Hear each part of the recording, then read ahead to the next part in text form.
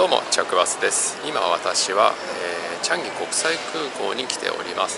でね今日は、えー、クリツフライヤーゴールドラウンジということでこちらスターアライアンスでゴールド、えー、持ってる人もね入れるということなんで SFC でもね入れるラウンジとなっております。今回このラウンジをね紹介させていただきたいと思います。でね、え今私はチャンギ国際空港に行ってダイヤモンド修行中なんですけども、え申し訳ないことにカメラのレンズに傷が入ってしまって、予備も傷が入ってしまってちょっと見づらいかもしれないんですけどもご了承ください。このスターラインズゴールドランジ行きたいと思います。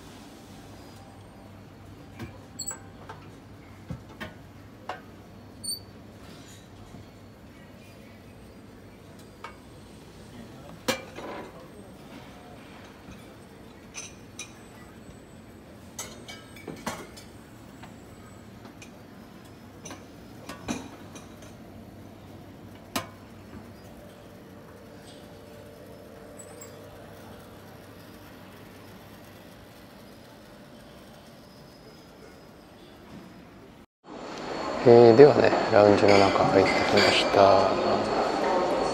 ここもね食べ物飲み物アルコールともに揃っています。で今回はコーヒーをいただいております。ちょっとねお腹まま空いてないので飲み物だけいただきたいと思います。美味しいまあね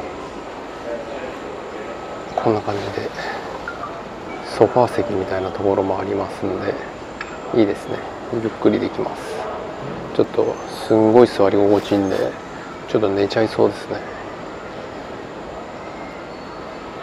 それではここにね、まあ、ちょっとしばらくゆっくりさせていただこうかなと思います、えー、それではねシャワー室に来ました、えー、鏡はこんな感じで。で洗いも一緒になっています。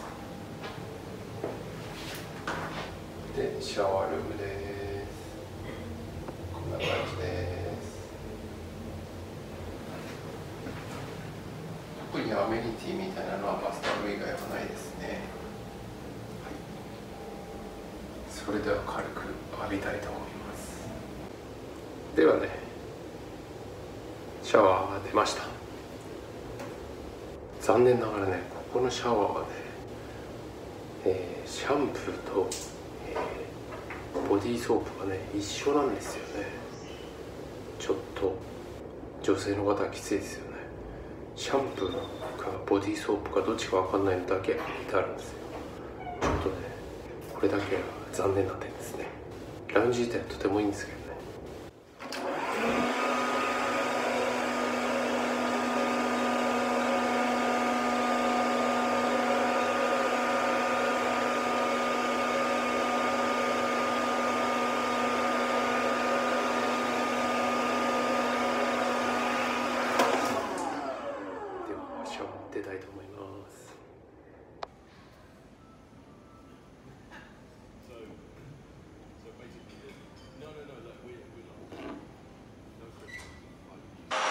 それではねラウンジの方出ました。今回は、えクリス・フライヤーゴールドラウンジを紹介させていただきました、えー、食事アルコールシャワー。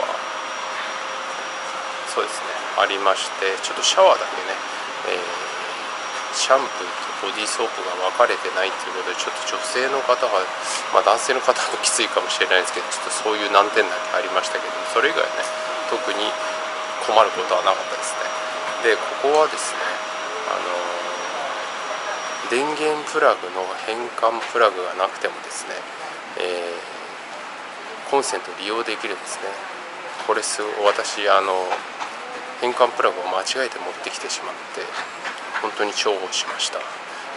まああの買ったんですけど。ね まあそういう意味でもあの一応覚えておいていただくとあの変換プラグを忘れた時はここを利用すれば充電できますんで。おすすめの点となっております。でねえーと、中はねこの隣のラウンジとくっついてまして隣のラウンジはプライオリティパスで3時間入れるんですね。